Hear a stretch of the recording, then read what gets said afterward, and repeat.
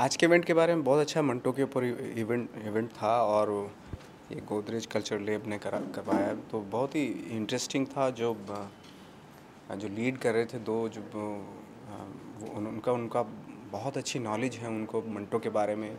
और मंटो के बारे में उन्होंने वो वो चीज़ें भी बताई जो हम लोगों को इतना इतना नहीं मालूम था। मैंने, मैं सच बताऊँ, मैंने स्टडी कम किया है। नंदिता ने पाँच छः साल स्टडी किया है मंटो के बारे में। इतना रिसर्च वर्क किया कि हम हम दोनों को इतना फ़ायदा हुआ उससे उससे जैसे सफ़िया के बारे में ज़्यादा कुछ लिखा नहीं गया।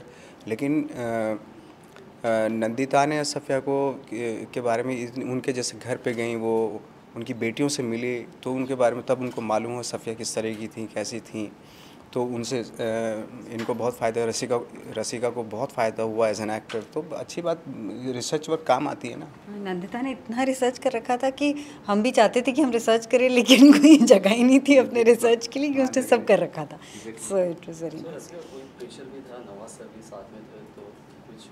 नहीं मुझे कभी भी किसी अच्छे एक्टर के साथ काम करने में प्रेशर नहीं लगता है बुरे एक्टर के साथ काम करने में प्रेशर लगता है। क्योंकि अगर आपका को एक्टर आपको सपोर्ट नहीं कर रहा होता तो आप किसी सीन में कुछ नहीं कर सकते और हर अच्छे एक्टर को ये पता होता है कि अपने को एक्टर को सपोर्ट करते हैं। तो इनफैक्ट जब बुरे एक्टर होते हैं जो अपने में ही घुसे हुए होते हैं उनसे मुझे डर लगता है।